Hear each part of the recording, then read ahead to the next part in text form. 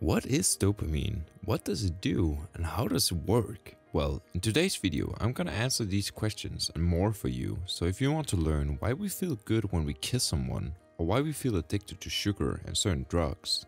Alright, let's get started with the basics. Dopamine is a neurotransmitter and plays several key roles in the brain and body. It is one of those chemicals that is responsible for transmitting signals between the nerve cells in the brain. These are also called neurons.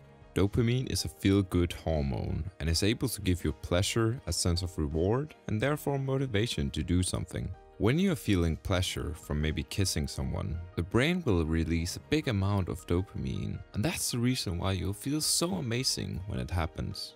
So how do you feel when you eat a really good meal, fast food, or when you consume a Coca-Cola? You feel good, right?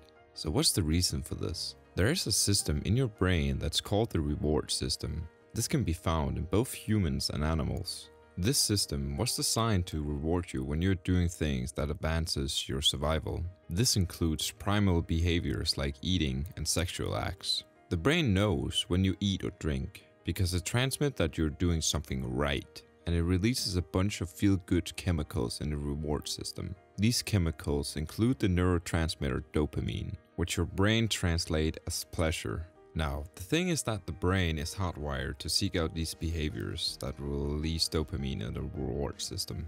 That is why addiction is a thing. The problem with junk food is that it causes a reward that is way more powerful than anything you can get from Whole Foods. So the brain will trick you into thinking that it's okay to actually eat junk food. And it will make up excuses why it's okay to eat it. Dopamine rewards you by making you feel good, right? So because of this, we seek more of it. That's why cocaine and sugar are so addictive. Cocaine itself are not responsible for making you feel good. It's only a trigger that releases a massive amount of dopamine into your brain, which by extension is why you will feel like you're at top of the world.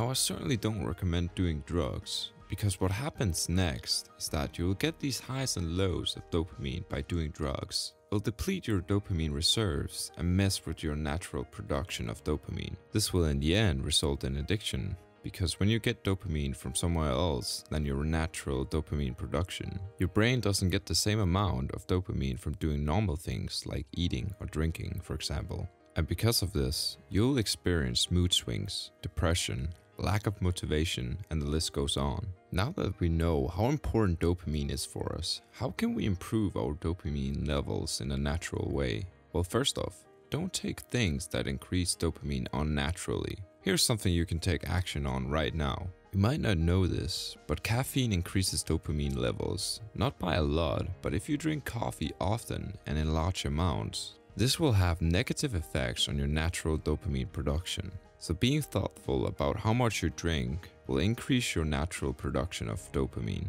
Things like eating junk food, candy, playing video games and watching porn is all triggers that will release big amounts of dopamine. So the less you do these unhealthy things, the more easier it will be to do the healthy ones. Because when you stuff your body from dopamine, it will start seeking out new things that will release it. This is where like running, and making important work will benefit you a lot, because I can tell you this much. Imagine you just finished something you put 10 to 20 hours of hard work, sweat and tears and then finally finishing it. The feeling of accomplishment of all that work you did to achieve this. You'll feel so much better than playing any video game or eating any kind of food. Dopamine is able to make you feel a natural high and you can achieve this by running or doing exercise because your body will be releasing dopamine naturally. Understanding that dopamine is responsible for why we do things is a huge advantage if we act accordingly to produce our own motivation, rewire our brains and by extension achieve our goals. That's it for this video, thank you so much for watching. If you're new here, make sure to hit the subscribe button for more informative videos and if you got a question you want answered, then make sure to leave me a comment down below. Alright, see you next time and stay awesome.